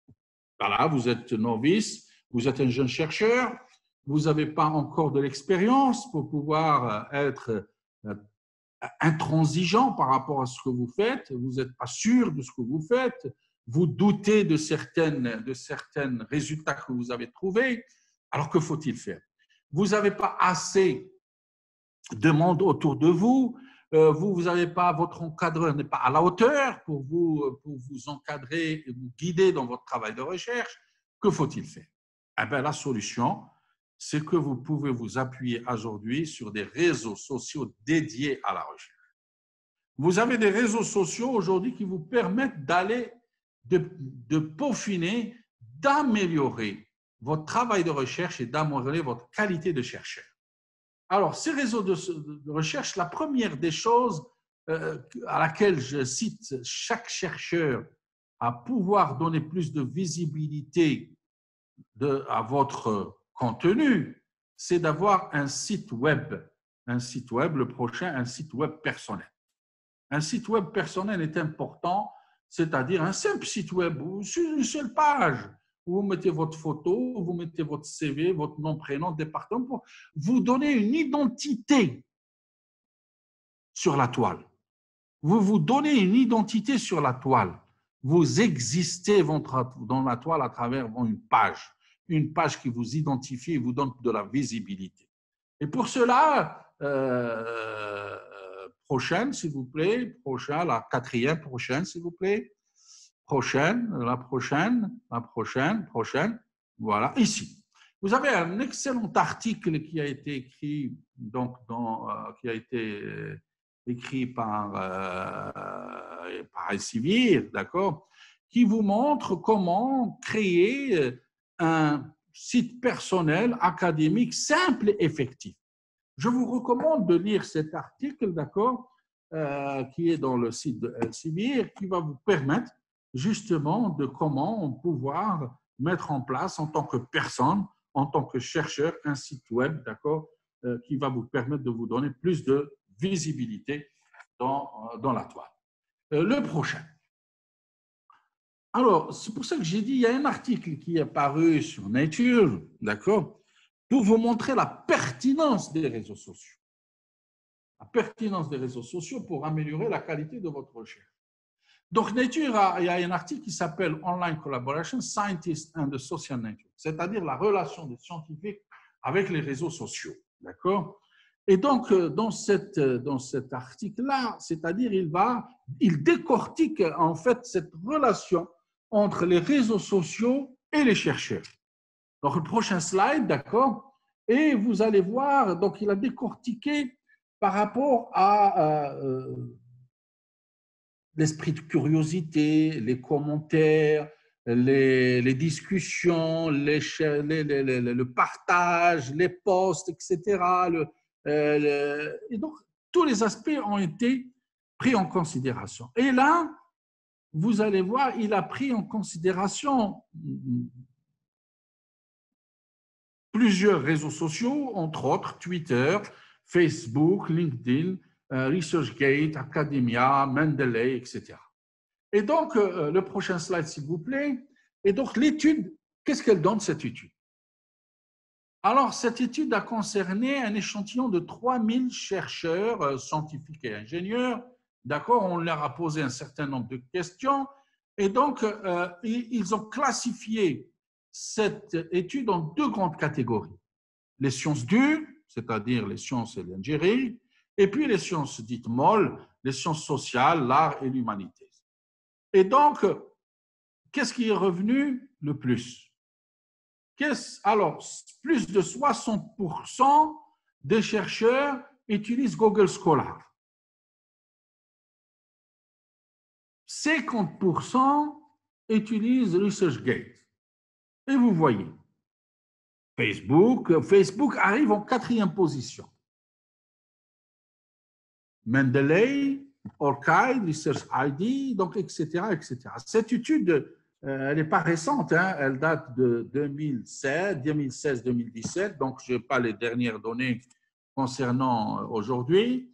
Et puis pour les sciences sociales, vous, vous voyez, c'est toujours Google Scholar, mais en deuxième position, c'est Facebook. Alors que dans les sciences et l'engineering, c'est ResearchGate qui apparaît comme étant un réseau social qui est le plus utilisé par les scientifiques dans les sciences dures. Et pour les sciences sociales, les, chercheurs en sciences sociales utilisent plus Facebook de, pour euh, communiquer entre eux et pour partager entre eux. Donc, cette étude est vraiment intéressante parce qu'elle démontre en fait la pertinence de, de, chacun de, par rapport au prochain, s'il vous plaît. Alors, prochain, s'il vous plaît. Alors, qu'est-ce que, en fait, qu'est-ce qu'ils vont nous apporter ces réseaux sociaux de recherche? Un, c'est un espace de liberté d'expression. Mais la question qui se pose, mais quelle est la posture? Qu'est-ce que je dois avoir comme posture? Un espace de production, mais avec quel contenu, quel cadre réglementaire? Un espace de confrontation, mais avec qui? Un espace d'évaluation, mais selon quels critères? Un espace disciplinaire, mais sous quelle tutelle? Un espace numérique, mais avec quel outil? Et des espaces d'autres et des Donc, ça veut dire que toutes ces, ces choses-là, ils doivent être, on doit tenir compte dans un réseau social. De, donc, la qualité d'un réseau social de recherche se mesure par rapport à ces questions que je, me suis, que je vous ai posées là. C'est-à-dire que tous ces aspects-là doivent être pris en considération pour dire que c'est un bon réseau de recherche qui me permet de progresser. Alors,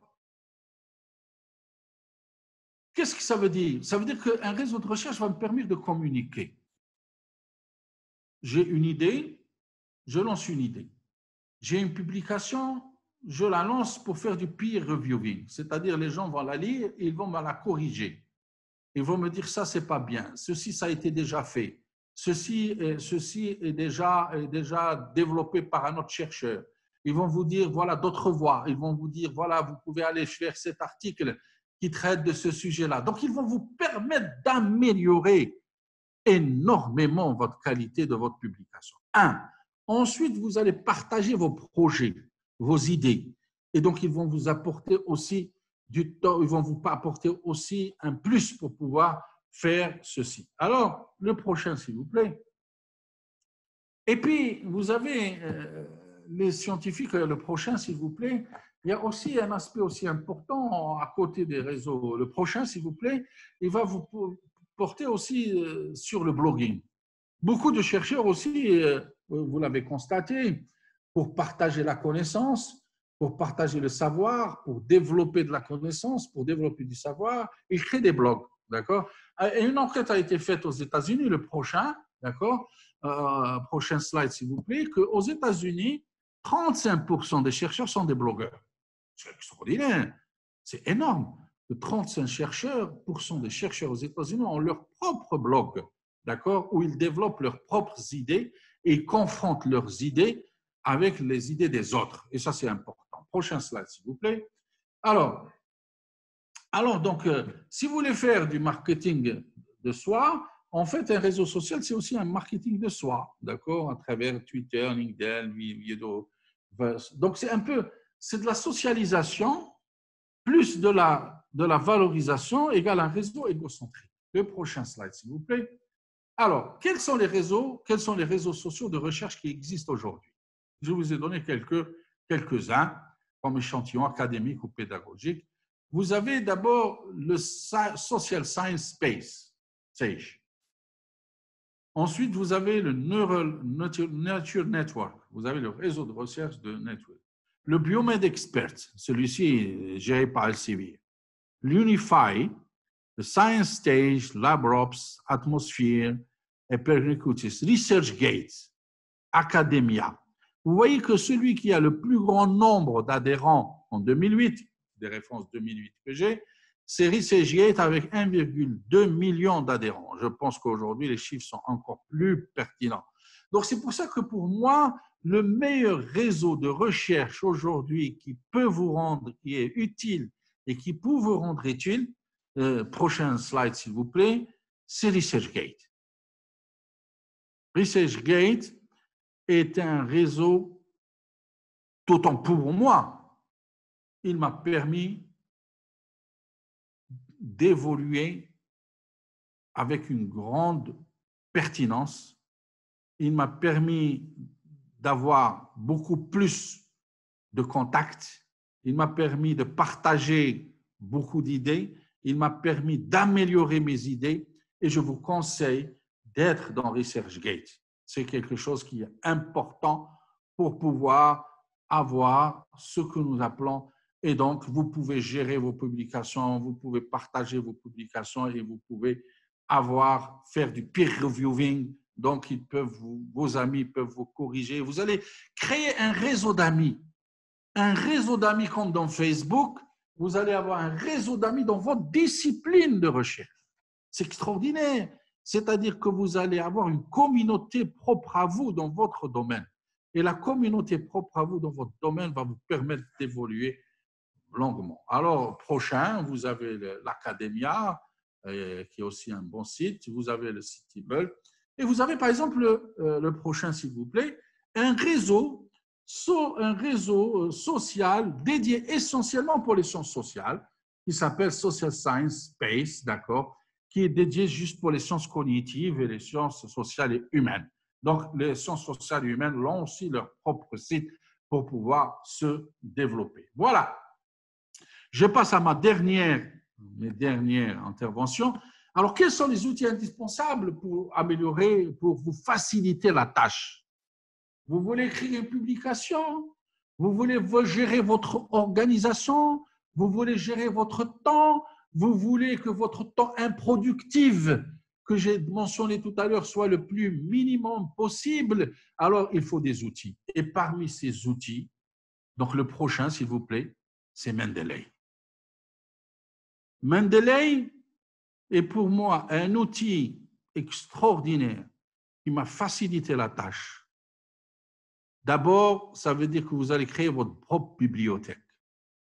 Tout ce que vous avez téléchargé, tout ce que vous avez produit, tout ce que vous avez collecté comme publication, comme résultat, comme données, vous allez créer votre propre bibliothèque virtuelle. Et vous pouvez d'un clic retrouver toute l'information que vous voulez. Vous allez gérer vos documents et vos références. Vous allez insérer des... Alors là, ce qui est le prochain slide, s'il vous plaît. Euh, allez-y. Alors, vous voyez que ce Mendeley est soutenu par les plus grandes universités dans le monde. Chaque étudiant qui s'inscrit dans une thèse dans ces universités doit obligatoirement avoir son site, son, compte Mendeley. Donc, Mendeley, c'est un, un, logiciel que vous pouvez télécharger gratuitement. Vous créez votre compte et vous allez créer votre compte. Le prochain, s'il vous plaît, slide, d'accord? Et vous voyez, euh, vous avez votre bibliothèque et vous allez vous gérer tous vos articles très simplement par un clic, etc. Le prochain slide, s'il vous plaît, et je termine avec ceci. Le prochain, s'il vous plaît, le prochain, d'accord? Alors, euh, voilà, alors je, vais terminer ici. Ça veut dire que ce, Mendeley, ce qui, est, ce qui est extraordinaire avec le Mendeley, le Mendeley, vous savez, il est couplé avec, avec, avec, avec Elsevier. Si vous avez un identifiant chez Elsevier, vous pouvez utiliser le même identifiant chez, chez Mendeley. Et avec ce même identifiant, vous pouvez surfer. Si vous êtes dans le SNDL, vous pouvez surfer et rechercher à travers votre Mendeley qui vous permet de faire de la recherche cherchez les articles et cherchez les articles qui vous intéressent. Il y a cette interface et cette, ce pont entre les deux. Et puis, ce qui est extraordinaire, c'est qu'avec Mendeley, vous pouvez, quand vous allez écrire une publication, vous n'allez pas vous soucier des références, qui est la partie la plus ennuyante quand on écrit une publication pour la reprendre, pour qu'à la fin, vous puissiez faire les références. Là, il le fait automatiquement pour vous. Et peut-être qu'un jour, avec Elsevier, nous organiserons une session d'utilisation de Mendeley et comment utiliser Mendeley et comment former nos chercheurs sur Mendeley. Je vous remercie et j'attends vos questions.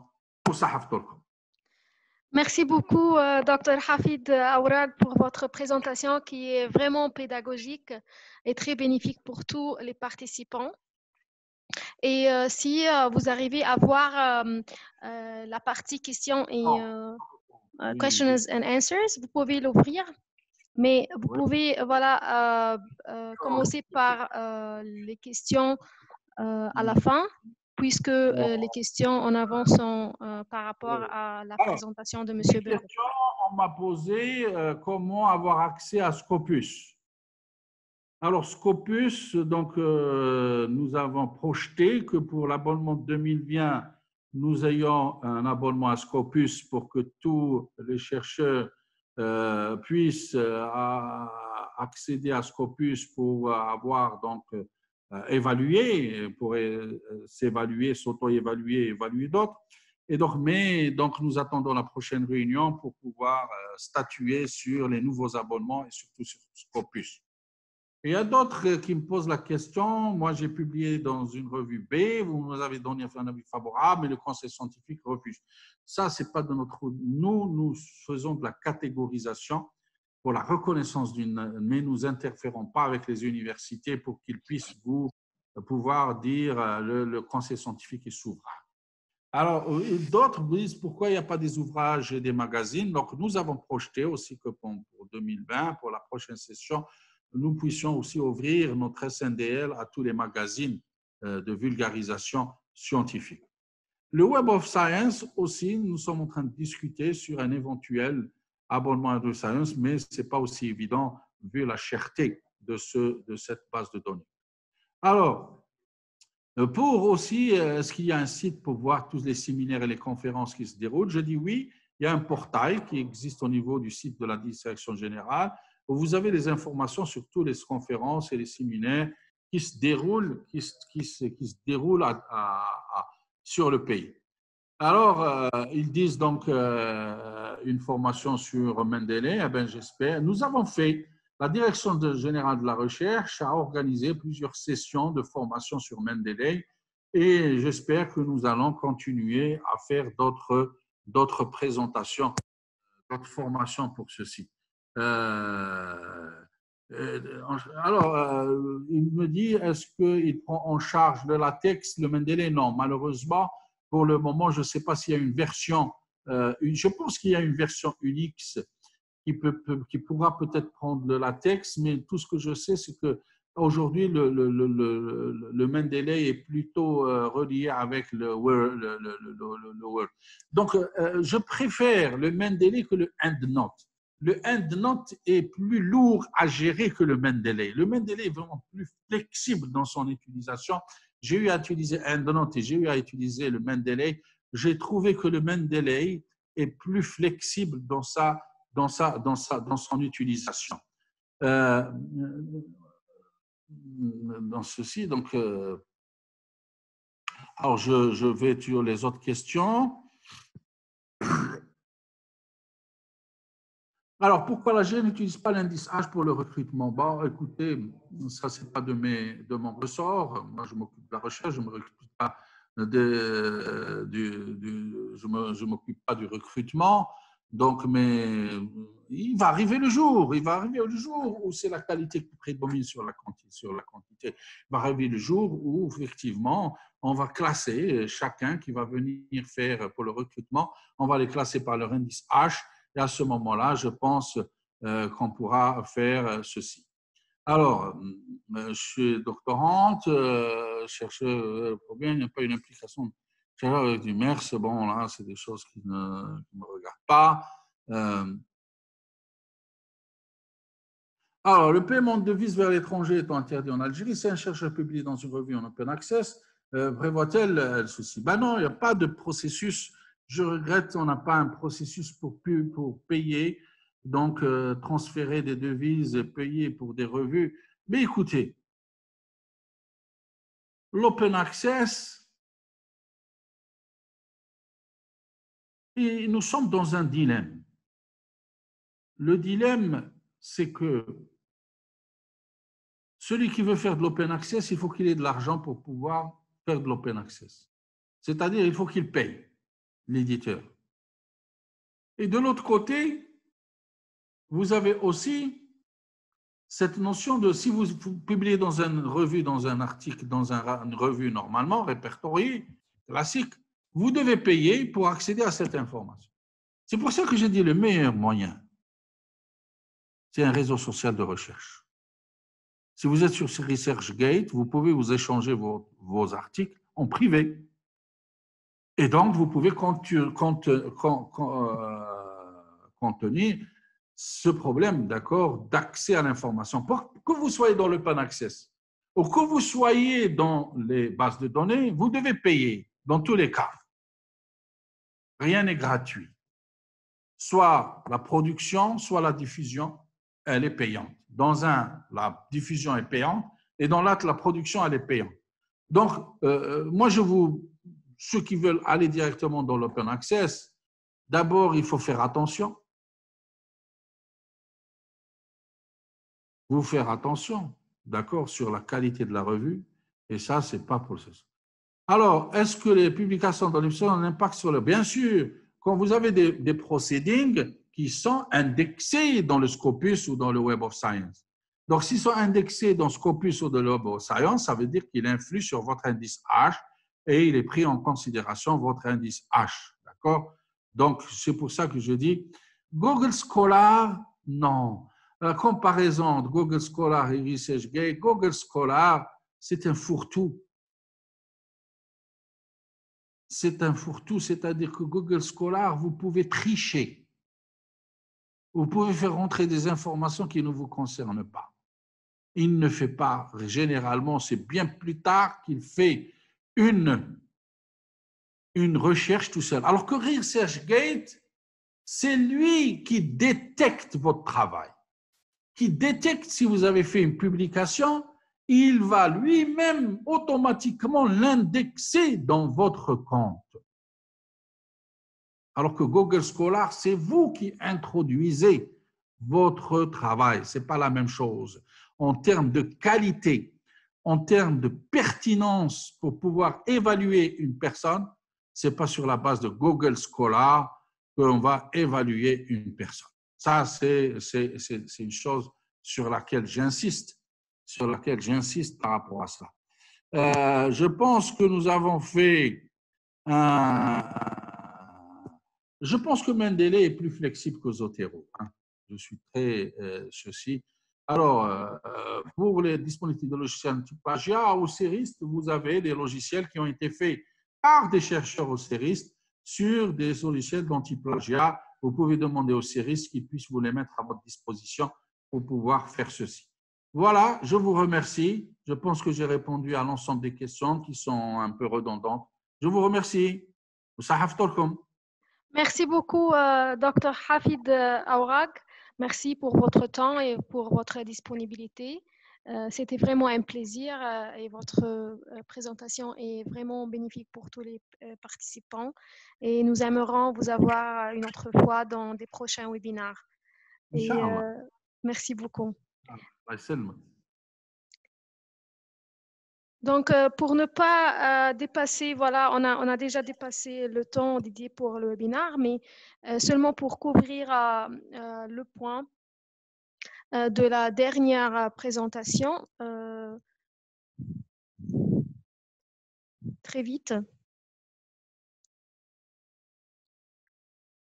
Euh, avant de passer sur ça, je veux seulement vous informer que Elsevier continue à soutenir les chercheurs et les bonnes causes au monde. Donc maintenant, il y a euh, le euh, Coronavirus Research Hub pour tous les chercheurs qui travaillent sur les vaccins pour le COVID-19. vous pouvez accéder gratuitement sur le Coronavirus Research Hub jusqu'à la fin de octobre 2020. Aussi, il y a le Coronavirus Information Center euh, que vous pouvez trouver sur euh, la page d'accueil euh, sur Sciences Direct pour avoir accès sur toutes les informations, toutes les publications sur le coronavirus. Alors, Sciences Direct, c'est une plateforme qui héberge le texte intégral des littératures évaluées par les pairs. Sur Sciences Direct, vous pouvez trouver des millions plus que 16 millions de publications, plus de 4 000 de revues et des séries et plus de 37 000 de livres. Et par un témoignage d'un chercheur euh, aux États-Unis, Science Direct offre une plateforme facile à utiliser qui fournit un accès pratique à un large éventail de publications de recherche intéressantes et utiles.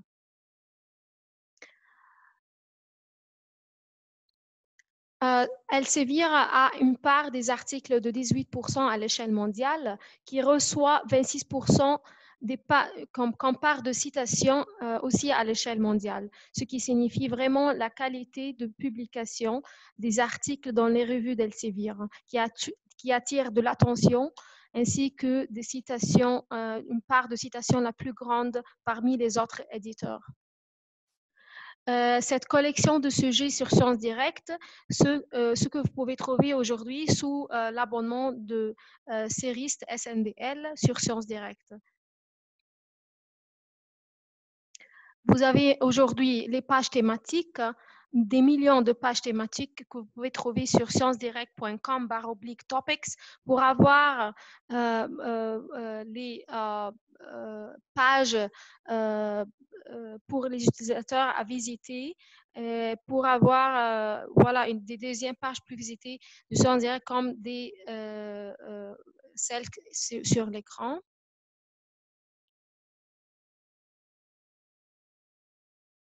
Et sur cette euh, euh, page thématique, vous pouvez avoir des courtes définitions, des termes connexes et des extraits du contenu pertinent des livres pour comprendre les différents concepts euh, pour les chercheurs et les auteurs sur Sciences Directes.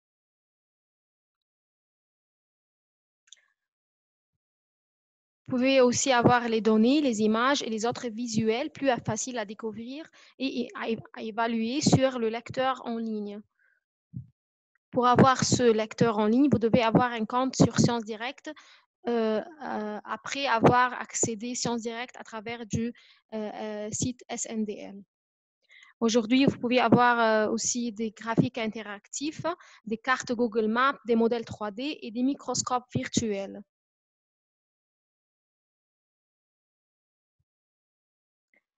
Si vous avez aussi des comptes euh, sur euh, Sciences Direct, vous pouvez avoir euh, des recommandations basiques basées sur les mots-clés ou bien des recommandations améliorées et personnalisées. Et ça dépend sur votre fréquence de visite sur Science Direct. Le plus vous êtes connecté sur Science Direct, le plus les recommandations seront personnalisées. Euh, s'il vous plaît, je, vous invite tous maintenant à visiter ces trois euh, liens comme test pour euh, voir, pour voilà, tester votre accès sur Science Direct. Donc, je vous invite tous maintenant d'aller sur SNDL et accéder à Science Direct à travers votre identifiant et mot de passe. et puis, essayez de ouvrir ces trois liens. Donc, le premier, NEC, le deuxième NEC 2, le troisième NEC 3 pour pouvoir tester si vous avez accès.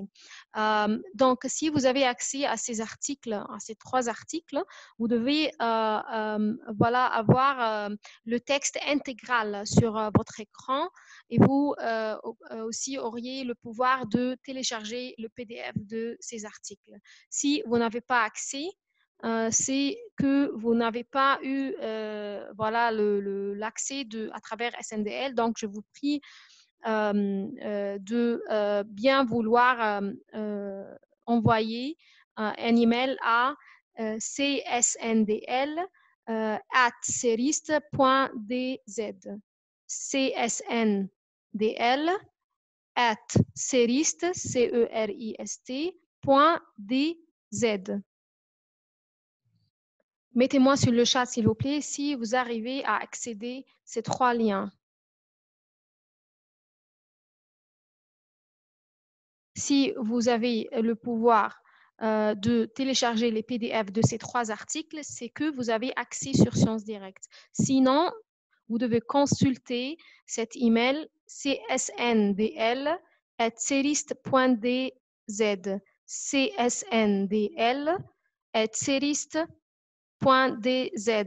pour avoir l'accès, pour avoir l'identifiant et le mot de passe pour avoir accès à travers votre euh, email institutionnel. Donc, euh, je passe très vite sur euh, le site de Science Direct pour vous donner euh, l'idée sur comment avoir euh, l'accès sur les euh, revues et les livres hein, que vous pouvez accéder à travers l'abonnement de votre consortium de séries SNDL sur Science Direct.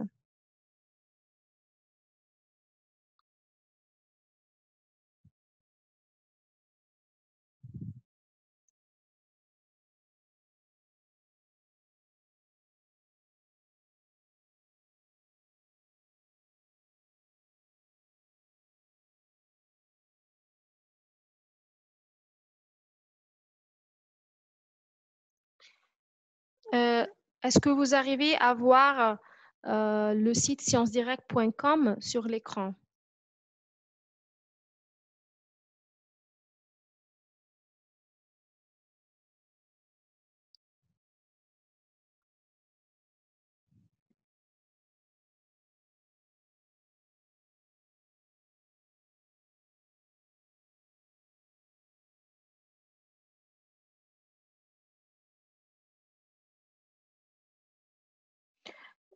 Ok, très bien.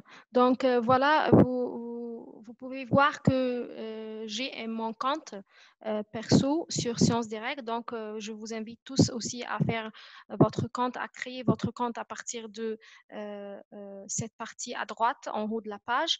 Et sur la même page de l'accueil sur Science Direct, pour avoir accès sur les revues et les livres que vous pouvez accéder à travers l'abonnement de votre consortium, vous cliquez sur Journals and Books. Et ici, vous pouvez voir la liste des, voilà, des revues et des livres que vous pouvez accéder à travers l'abonnement de votre consortium sur Science Direct. Vous pouvez aussi, à tout moment, avoir une liste euh, euh, exportée de cette page. À la fin de la page, vous pouvez euh, cliquer sur Download Holdings Reports. Voilà, tout, pour avoir la liste de ces revues et, et, livres pour la consulter plus tard. Donc voilà, vous pouvez choisir la format, la forme pour télécharger cette liste et pour que vous puissiez l'avoir sur votre ordinateur pour à tout moment la consulter et pour chercher les revues qui vous intéressent.